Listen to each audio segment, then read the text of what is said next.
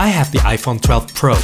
Not yet. I saw the promo video and I wanted it so bad. Not the iPhone 12 Pro, but the wallpaper. And I thought it could be worth trying to recreate it in After Effects. It took me 6 hours to match the original as close as possible. Not because it was difficult. Basically, the animated wallpaper just consists of position and scale animations, fade-ins and fade-outs. The devil lies in the detail, chromatic aberration, intricate blurs and individual glows. This is Apple's version taken from their website and this is my version. It's not a pixel perfect copy, but that was not my goal. And it wouldn't have taken 6 hours if I used optical flares, but I always challenge myself to create everything without any plugins, as I already did before. The animation seems to be complex, but can be boiled down to one element.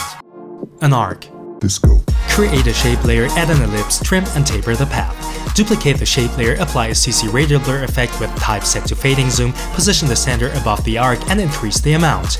To create an inner glow, apply curves, modify the alpha channel to make it more visible, and set the stroke color to blue. To simulate chromatic aberration, select the original arc, make it green, apply a fast blur, change blur dimensions to vertical and set a small blur radius. Duplicate the arc, make it red and set a Y scale slightly above 100.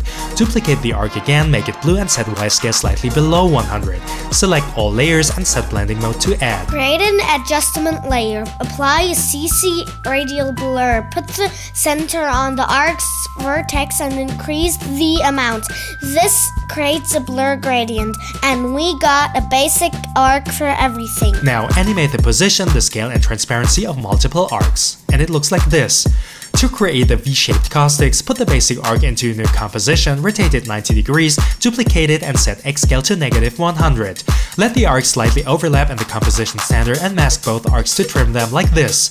Now animate the position, the scale and transparency of multiple caustics, and it looks like this.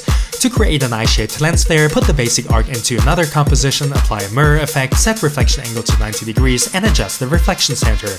Now animate the position and let the bottom arc fade out. And it looks like this. And it looks like this with the. And it looks like this with the arcs. Original, After Effects.